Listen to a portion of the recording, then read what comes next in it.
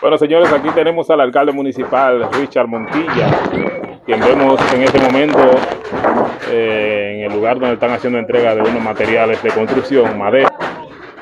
Entonces, a ver, ¿de qué manera que proviene eso? ¿Qué me dice síndico?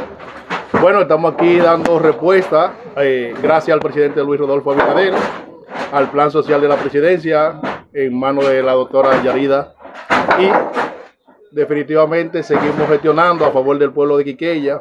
Como siempre he dicho, todos los planes que hay en el gobierno sociales lo hemos traído al municipio de Quiqueya. Hoy vamos a estar afectando, reparando 15 viviendas, incluso poniéndoles algunos enseres, algunos camas, otros visores, otros muebles, otro estufa, gracias al presidente Luis Rodolfo Abinader, mejorando la calidad de vida de cada uno de los dominicanos y en el municipio de Quiqueya en especial de cada uno de los quiqueyanos.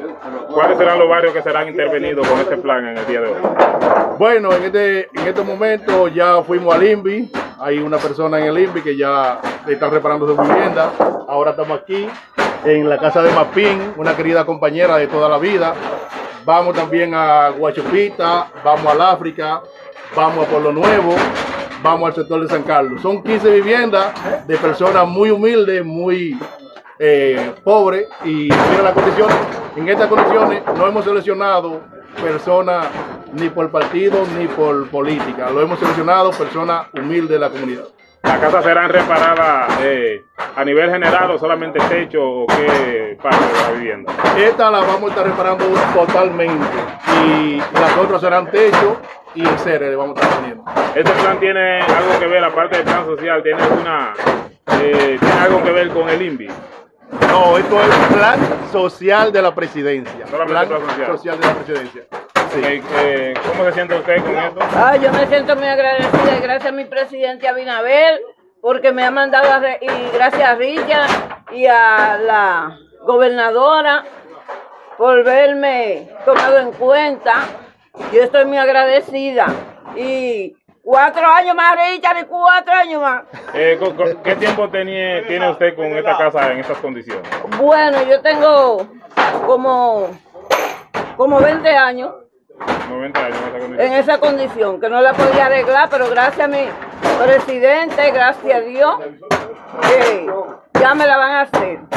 Cabe destacar que las personas que viven en esta casa, hay una que tiene 100 años y ella tiene 70 años. Ok.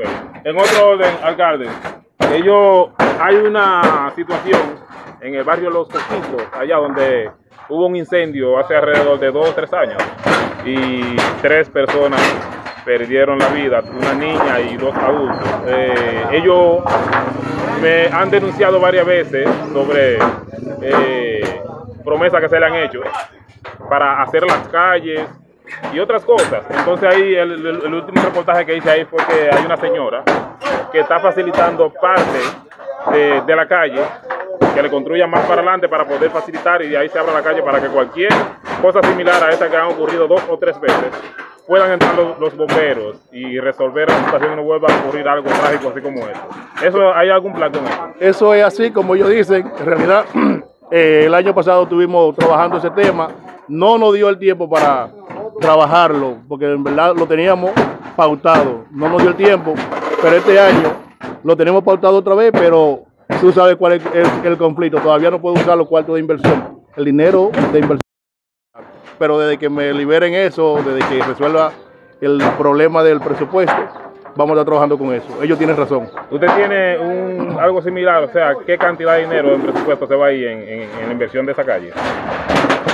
Bueno, en la inversión de la calle no. Lo primero es la reparación de la casa, la señora, que hay que construirle.